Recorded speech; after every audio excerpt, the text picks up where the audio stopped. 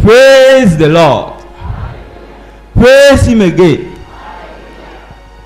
My name is Way Forward Destiny. I want to testify for the goodness of the Lord in my life and in my health. Since last year, I fell sick of, sick of shortage of blood.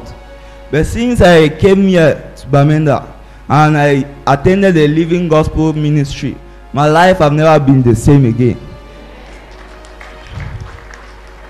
Thanks to the anointing oil, I was healed from shortage of blood.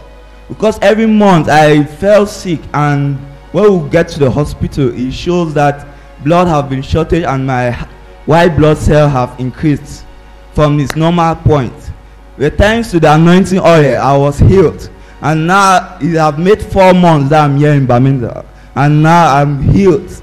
There's no more sign that I have shortage of blood again.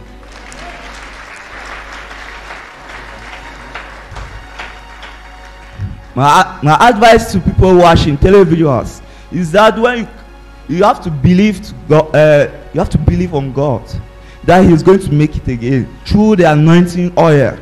With a medium as the prophet said always have your medium and you and you shall use it as your weapon against all attacks. I thank you major papa i thank you